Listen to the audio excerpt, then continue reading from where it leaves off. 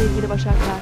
Bugün boş vakitlerinizi gününüzün büyük bölümünü geçirdiğiniz ortamları güzelleştirmeye ayırabilirsiniz. Sadece estetik değil, konfora da büyük önem verebilirsiniz.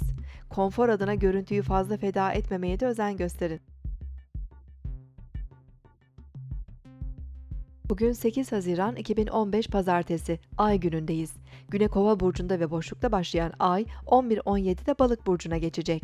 Duygusal ve hassas enerjilerle melankolik hissedebiliriz. Çevremizin çok fazla etkisinde kalmamız mümkün. Ay ilk açısını Yay burcundaki Satürn'e yapacak. Kare açı duygusal olarak bizi zorlayabilir. Karamsar ve ciddi enerjilerle içe kapanabilir, yalnız kalmak isteyebiliriz. Öğle saatlerinde Ay, İkizler Burcu'ndaki retro Merkürle kare açı yapacak. Zihnimiz geçmiş kavramlarla çok fazla meşgul olabilir. Eski hatalar ve kırgınlıklar aklımıza gelebilir. Dikkat dağınıklığı ve unutkanlıklar günlük yaşamımızda karışıklıklar yaratabilir. İlişkilerimizde yanlış anlaşılmalar, gereksiz alınganlıklarla karşılaşmamız mümkün. Akşam saatlerinde Ay, Balık burcundaki Neptün'le kavuşacak.